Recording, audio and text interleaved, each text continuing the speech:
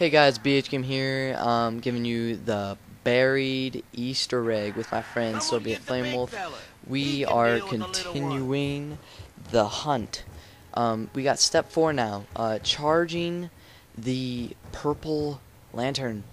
You gotta charge it, and pretty much how to charge it, you just have to kill zombies around you, around, around you, around the person that has the purple lantern, and the only way and it's a lot more difficult than just that. You, your, yourself and your teammate cannot just kill the zombies. It has to be something else, like traps, like the sonic boom. It can be the big guy, or it can just be a nuke, and the zombies die next to it. It just has to be near the guy.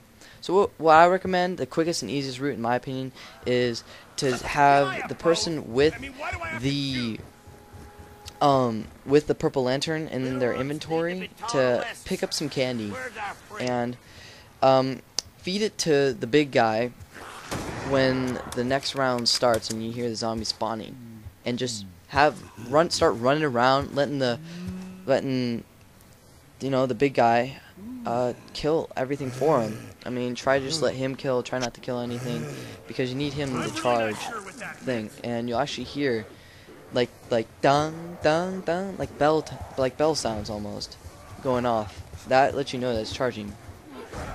So boom, right there, there's one there. You know, it just keeps charging.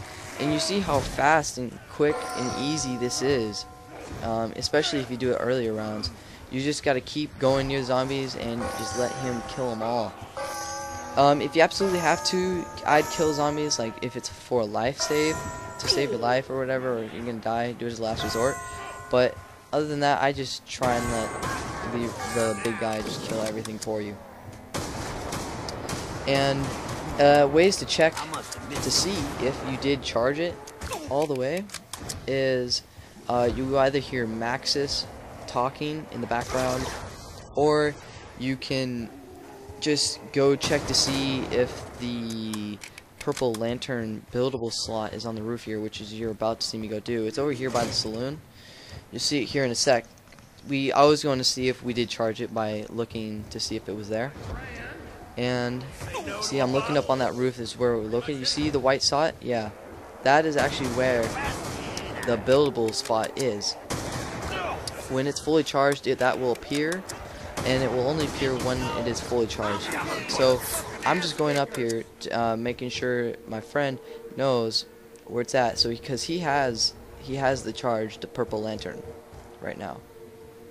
And so I'm just jumping over here. He was going to jump over here in a second. And it says it can be a buildable. You just got to build it in like a regular uh, buildable part. And you see how those that I don't know what it that that diagram in the background. I have no idea what it's for. We're thinking it's probably something for the maze. Honestly, I'm not exactly sure. But if, so maybe if you guys have any idea of what what that means, uh, go ahead and leave the comments or message me because we're trying to figure this out and it's pretty difficult. Um, I have literally have like no clue at the moment. We're just thinking of crazy ideas and you know sometimes the craziest ideas are the ones that work. Fortunately, we didn't really hear Maxis talk in the background, so um, like we heard him speaking, but we couldn't make out what he was saying. So we we think it would have helped if we heard what he was saying so yeah, that's the fourth step. Just charge the purple lantern by killing zombies. Not, but you yourself cannot kill zombies as long as your teammates. It has to be something else. Alright, um, so once again, if you have any idea what that diagram means, go ahead leave in the comments or message me. And that is step four of the buried Easter egg. Um, I wish you luck. And uh, that is it. Okay, bye-bye.